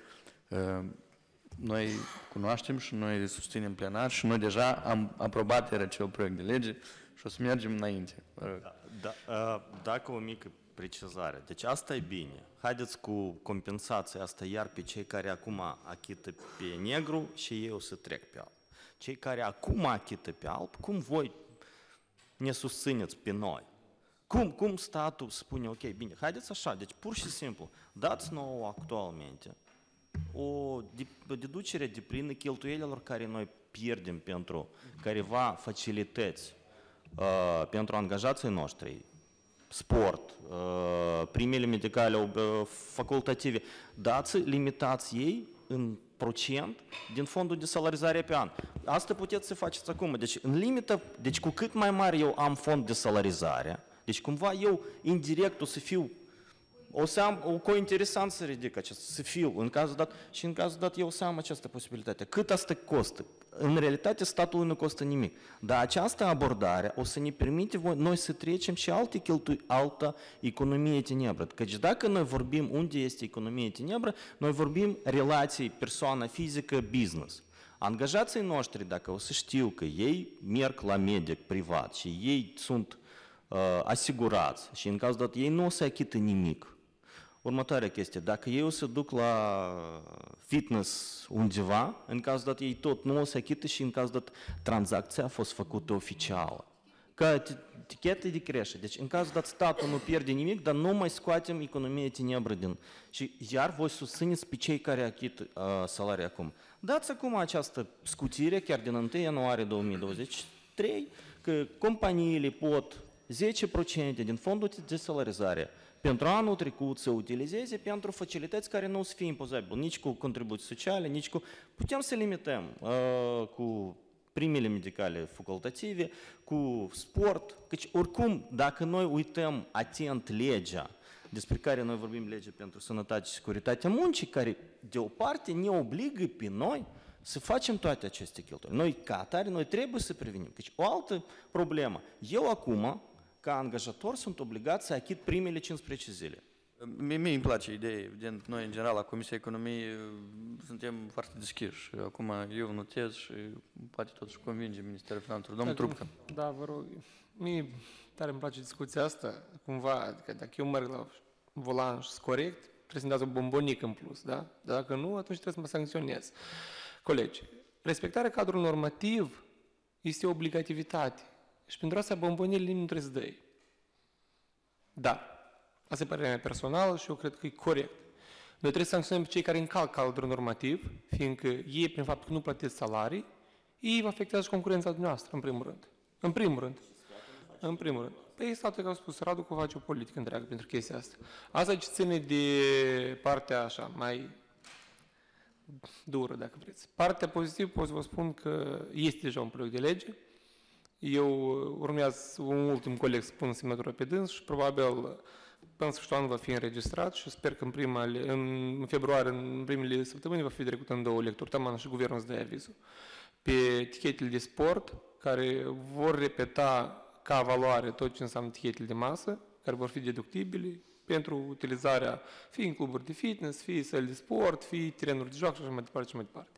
Așa că o să fie un bonus special pe partea de sport. Pe partea de medicină e o chestie mai complicată, fiindcă este un buget separat a CNAM-ului și e mai complicat să intervenim acolo cu anumite diminuări, da, chestii de astea.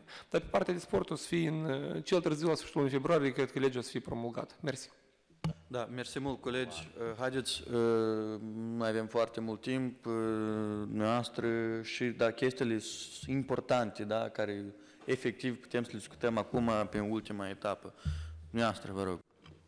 Uh, good morning, everyone. Uh, sorry, I will have to speak in English. Uh, thank you very much for being open and for this discussion. Uh, we understand that this year is very difficult Uh, oh, sorry, I'm from Philip Morris, Moldova. My name is Elena. I understand that this year is very difficult for Moldova and the economic situation is really, really tough. Uh, looking at the budget, basically project and fiscal code project, we see that the, the large source of revenue is projected to be from tobacco excise tax. And uh, the proposed increase is 25%, uh, which is in nominal terms uh, 13 euro per thousand.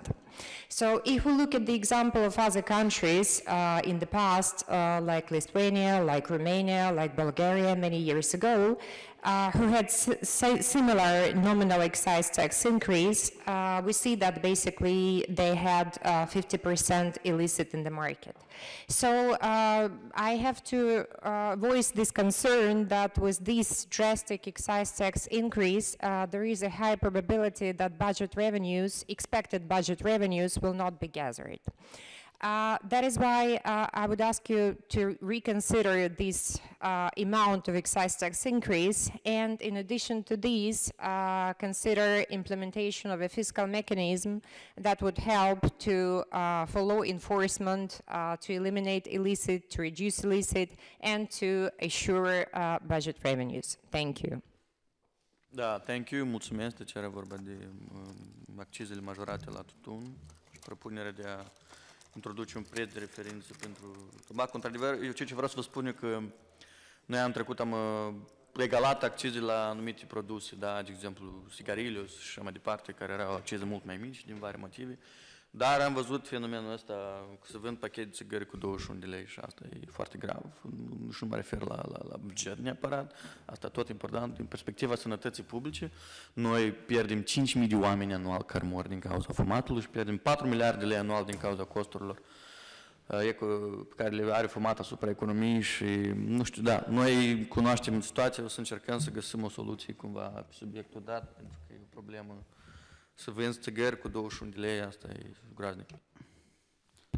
Bună ziua la toată lumea, mă numesc Lazarencu Sergiu, sunt membru Comisiei Buget, Economie și Finanțe.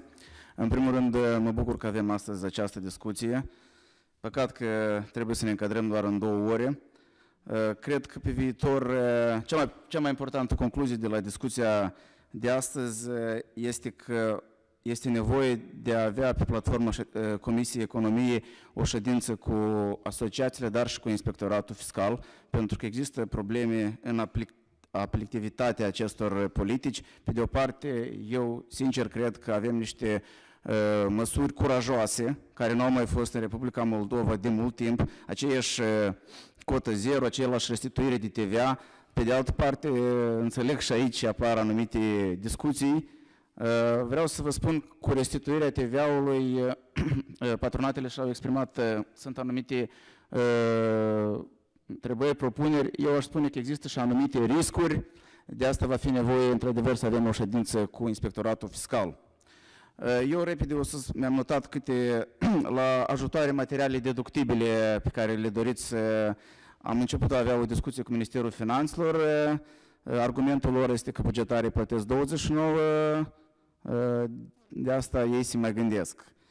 Pe comerțul electronic, toate propunerile vă rog să le dați domnului Alaiba, pentru că în cel mai scurt timp va veni cu un pachet legislativ și poate sugestiile să le transmiteți lui și nouă la comisie, ca împreună să venim cu ceva mai larg. Pe codul VAMAL, într-adevăr, eu sunt de acord, ei nu vor reuși, pentru că am discutat și cu reprezentanții de la Serviciu VAMAL, spun în aplicare din, acest, din 31 iulie sau acolo. De asta va trebui să faceți un demers către Serviciul VAMAL și către noi și poate să înțelegem mai bine cât poate dura asta. Pe etichetele de masă ar fi bine ca odată ce colegul Alex Rupca vom veni cu acel proiect pe etichete de sport, să nu ne mai întoarcem niciodată la acest subiect și să nu mai fie valoarea nominală, eu m-am mai exprimat în mai multe cazuri, dar să fie un procentaj din salariu minim pe economie, ca să nu mai revenim. În rest, eu mi-am notat mai multe sugestii și ar fi bine ca în primul trimestru anul viitor să avem și aceste discuții și în alte formate, nu doar înaintea politicii bugetare fiscale, ca noi propunerile bune să le promovăm pe platforma noastră. Vă mulțumesc și sper să ne mai vedem. Domnule Lazarencu, doar o mică precizare, Da, dacă nu vă mi- supărați, da. pentru că e în context, dacă vorbim despre etichetele de masă, este absolut imperios să ajustăm plafonul în egală măsură prevăzut în hotărârea de guvern 693 care ține de limitele spre deducere pentru cheltuielile pentru hrana angajaților. Cei mai mari angajatori corelarea. Cei mai mari angajatori au cantine, respectiv nu folosesc tichete de masă, folosesc uh, această hotărâre de guvern. Deci vă rugăm, uh, domnul Budeanschi ne-a promis încă în uh, ianuarie anul trecut uh, că o va promova. Aceasta a ajuns la cancelare și s-a blocat. Ea nu a fost promovată. Eu înțeleg că rugăm este nevoie foarte de o, e, hotărâre de guvern. Da, eu după ședința 693. astăzi o să sun la cancelare să înțeleg unde s-a Este blocat. foarte Pentru că noi important. discutăm, discutăm da. și văd că nu se mișcă Exact, deloc. și e, e un detaliu foarte important. Mulțumim mult. Mulțumesc mult. Um, văd că dorători de a mai interveni nu mai sunt.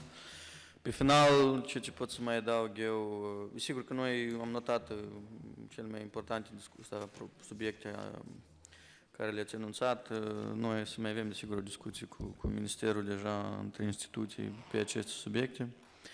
Dar, uh, iarăși, vreau să ne aducem aminte contextul în care noi, noi ne aflăm, pentru că vă spun sincer, noi în februarie discutam despre ce- dacă să mai supraviețuim noi ca țară, atunci era așa discuția ce o să facem dacă o să fie o invazie aici.